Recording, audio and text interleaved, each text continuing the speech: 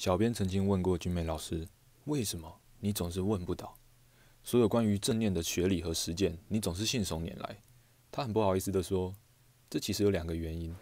第一个，我其实我蛮幸运的，因为我学完正念之后，我立刻衔接的是翻译卡巴金先生的巨著《正念疗愈力》，然后接下来呢，我也被 Saki 邀请翻译他的另外一本巨著《自我疗愈正念书》。这两本书呢，里头有非常多完整的学理，但是只是说坦白话，读起来不太容易。所以学理的这个部分呢，我回过头才赫然发现，我哦，他好早就根植在我的协议里头，透过这么长期的训练。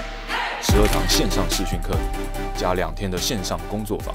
在胡君梅老师的带领之下，共同研究正念减压创始人划时代巨著《正念疗愈力》类研究所课程。参与学员需分享和提报，扎实紧凑，喜悦和泪水交杂，却不煽情，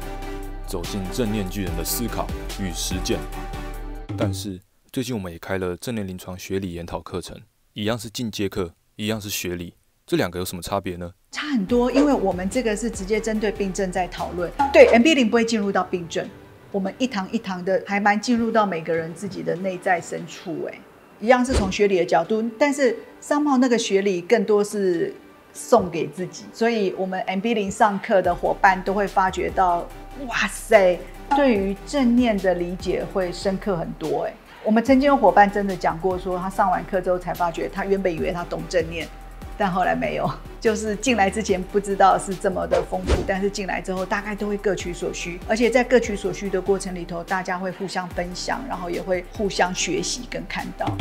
而第二个原因，邀请荧幕前的你在留言区猜猜看，晚点解答。